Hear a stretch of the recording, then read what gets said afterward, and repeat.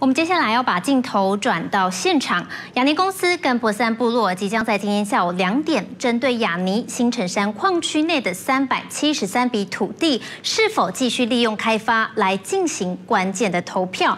而目前会议现场的筹备状况如何？我们要请在现场的记者杂唠来告诉我们。好的，主播记者现在所在位置在花莲县秀林乡的富士活动中心。那在这边呢，今天下午即将进行历史性的雅尼之商同意会议。但是反雅尼自救会成员他们则强调，所有的智商会议的前置作业都违反知情同意原则，也没有符合部落章程进行。但是部落会议他们则强调，所有的一切的前置作业，包含智商都是符合规定。那今天召开这个会议也是多数干部他们的决议，所以是依法召开。那你可以看到。现场虽然到场的族人还不多，但是工作人员也在加紧脚步布置会场。